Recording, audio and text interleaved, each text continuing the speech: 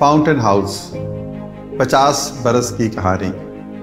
तश्कीलो तकमील फ़न में जो भी हफीज़ का हिस्सा है, निसफ सदी का किस्सा है दो चार बरस की बात नहीं। ये कहानी ईसार की कहानी है, मोहब्बत की कहानी है तहमल की कहानी है, बर्दाश्त की कहानी है, और उन लोगों को अपना बनाने की कहानी है, जिन्हें उनके अपने भी छोड़ देते हैं। Fountain House Institute for Mental Health, home of happiness.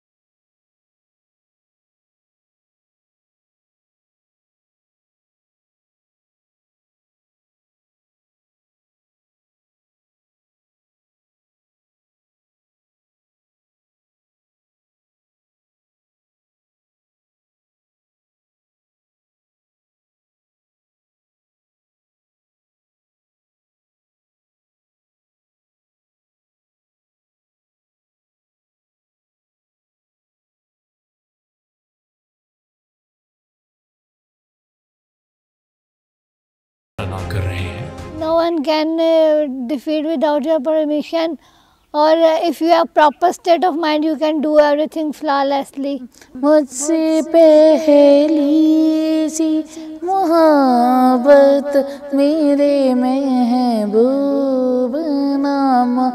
Fountain house में सत्रह ब्लॉक्स हैं, जहाँ इनकी जहनी अमराज के इलाज के साथ साथ इनके लिए तफरी प्रोग्राम्स भी तरतीब दिए जाते हैं। फाउंटेन हाउस में बहाली और तरबियत के लिए मुख्तलिफ़ थेरेपीज यूनिट कायम है। फाउंटेन हाउस में जेर इलाज मरीजों को मरीज़ नहीं, बल्कि मेंबर कहा जाता है। और मैं अल्लाह का बहुत शुक्रगुजार हूँ कि मैं इस पचासवीं सालगिरह में फाउंटेन हाउस के साथ हूँ। पाकिस्तान में ये एक ऐसा अदारा मौजूद है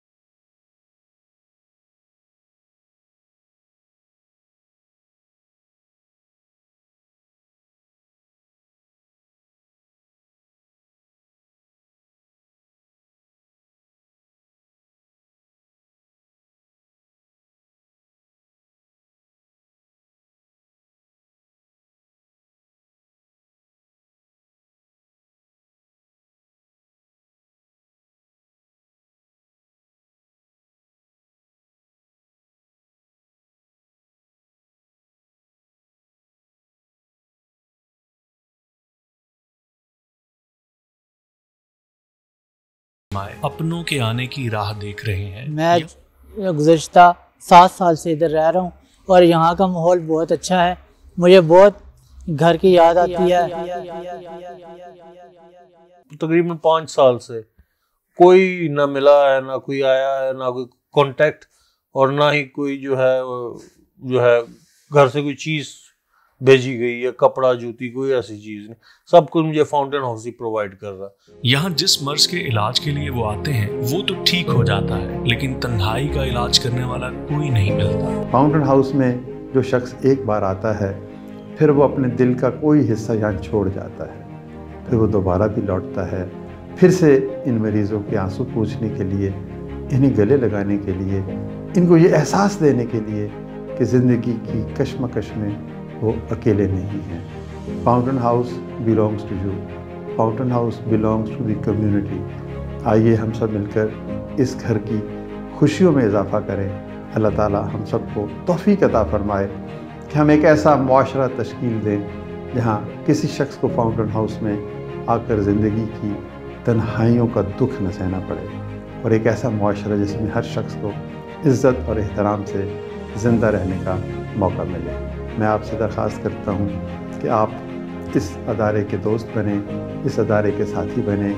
ये सिर्फ़ एक इदारा नहीं, बल्कि एक गुलदस्ता है, जिसकी हर शाख आपकी दी हुई एक एक बूंद से फल फूल रही है।